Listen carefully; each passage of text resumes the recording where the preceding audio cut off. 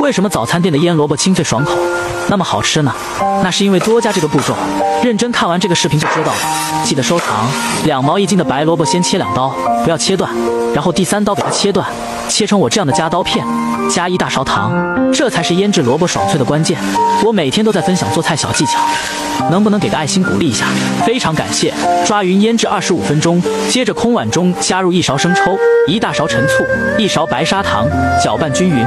这个简单的料汁就调好了。这时候萝卜也已经杀出了水分，只需把水分挤干，这样吃半年都不会坏。接着加姜蒜片、青红辣椒，倒入调好的料汁，其他什么调料都不需要放了，抓拌均匀，冰箱冷藏三个小时就可以开吃了。这样做的腌萝卜酸辣脆爽，无论是喝个小酒还是配碗白粥，那都是相当的绝配。喜欢你也收藏做起来吧。